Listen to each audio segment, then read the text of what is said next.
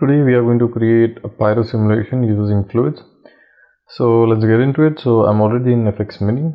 I'm going to go into the fluids and let's take a 3D container. And uh, we have already talked about the basic parameters about 3D fluid and what you need to create a simple simulation. So we'll use some of those factor and so on.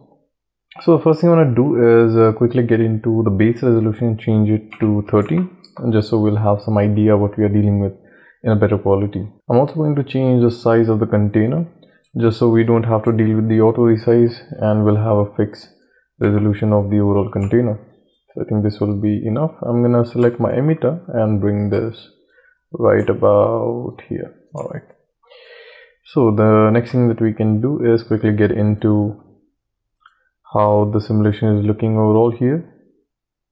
All right. So we have something like this and uh, let's uh, lower the overall quality to see what difference uh, it's making. All right okay.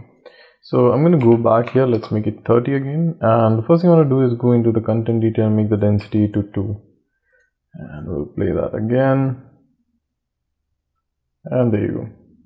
Right so right now the smoke is pretty slow. I'm going to increase the amount of buoyancy in here by making the value to something like 3 and we have already talked about what buoyancy does and we have something like this. So let's add some more variation to this. The first thing i'm going to do is change uh, the zero. Sorry uh, let's go to the content method and change the zero to dynamic grid so we will be playing with temperature this time. Uh, let's close this down. Uh, by allowing that, we'll have this temperature menu as well. Alright, so I'm going to keep the dissipation to maybe like 0.1 and let's add a bit of a noise as well. So 0.1 value as well. I'm going to add some swirl. Let's see 2. And now it's looking. And we have something like this. Let's make it maybe a 4 and we'll go in the turbulence and we'll make the turbulence to maybe like 0 0.5 0.05 and uh, then we'll go into the temperature. Alright so we have some swirliness we have some uh, temperature going on and so on. And I'm going to the container. Let's make this to somewhere about 60 and let's I'm gonna delete the cache if I have any. No alright so it looks something like this. Not that bad. And let's bring this back to 30 alright so in the temperature uh, we get the temperature scale similarly to the density scale. And we have a buoyancy here as well how much buoyancy we want in the temperature. So if you haven't uh, checked out the basic introduction to fluid simulation you should check that out. I've already explained what buoyancy is. So it's a basic uh, pressure applied to your temperature and the dissipation has been set to 0.100 and we have some turbulence as well. I'm going to add some noise in my temperature as well just so we have a bit of a variation. Let's play this. And now we have something like this right so one thing i'm going to do is i'm going to change the fluid drop off to zero. This will just make it look much better. All right and let's quickly add some shading into this. So i'm gonna go in here to the shading. And before that let's add some lighting in here self shadow. That we will have some shadow going on. And in the shading we'll switch this to the density. And immediately you will see that we are getting that orangish fiery tint here. So i'm going to change the color of my smoke to maybe like a gray and here you won't see much of uh, the stuff happening because we do have to change a bit of things here. So here you'll notice that we get transparency. Right now the transparency is too much. So let's reduce this to somewhere about here. And let's add a bit more fire into that smoke. All right. And let's make this a bit grayer yeah. So let's change the quality to 50 again. And let's play this again all right?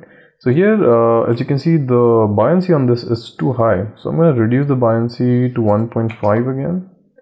And since we already have another buoyancy in our temperature channel so there's too much force being applied onto our fire. And yeah. So i'm going to go back in here and decrease the buoyancy on the temperature. Yeah let's see. Alright, there you go.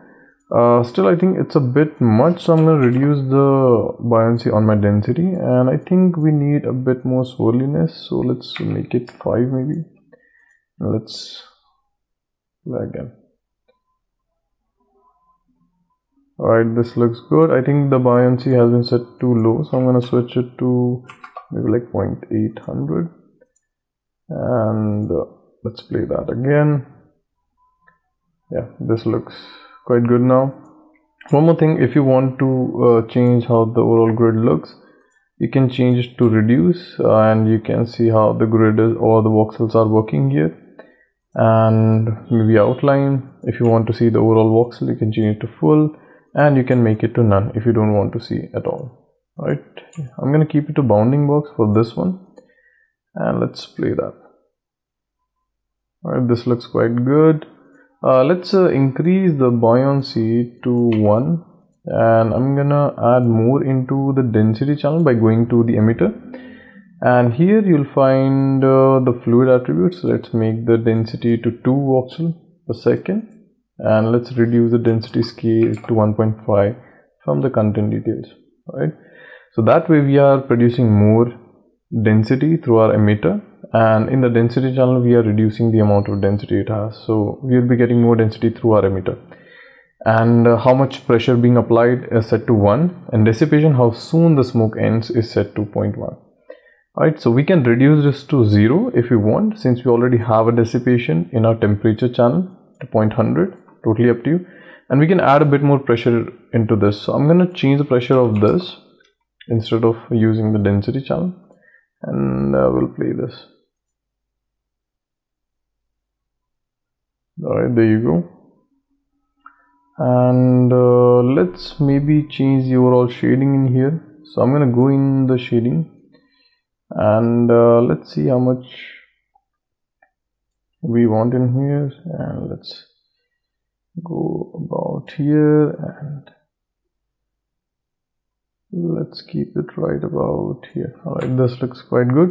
Uh, if you want you can add some more into this. Totally up to you what kind of look you're going for. And from here i'm gonna go into the caching process. So i'm gonna increase this to 100 and i'm gonna select my container go back and cache and my fluid.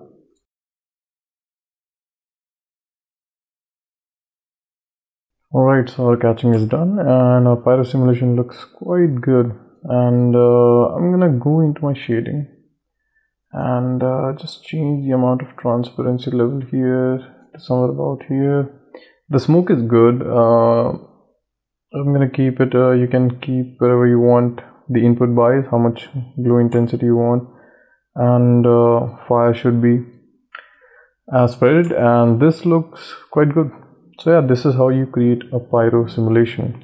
And if you want to change a few things uh, the best thing that you can play around with is the density and the temperature. If the pressure is too much reduce the buoyancy if it's, it's too low um, try increasing it more and play around more with how much buoyancy you want in the temperature channel and how much you want in the density channel right? Um, and apart from that if you have some confusion regarding the density and temperature you can also go into the shading and you can play around with a different channel type to differentiate how much uh, you can say they differs from each other. This is the overall density. If i make this somewhere about zero and let's make this back around here you can switch it back to the temperature if i make this about default. And uh, you'll notice uh, quite a difference with how much uh, fire it contains in the density channel right? So let's make this somewhere about here. And there you go Alright, so this looks quite nice. So I will prefer uh, if you want to increase more, maybe base resolution to 200 since uh, I wanted to do this for the video purpose. I kept it pretty low just to uh, showcase how this can be done. But you can play around with a lot of different things, maybe adding a bit more turbulence into this. So going into your content details and uh, turbulence and maybe adding a bit more turbulence into this so there's a lot of different things that you can do with this um, play around with this and maybe add a bit more density voxel in your emitter channel as well so have fun with this play around with this and uh, show me what you come up with Alright, so that's it for this one and I'll see you in the next video.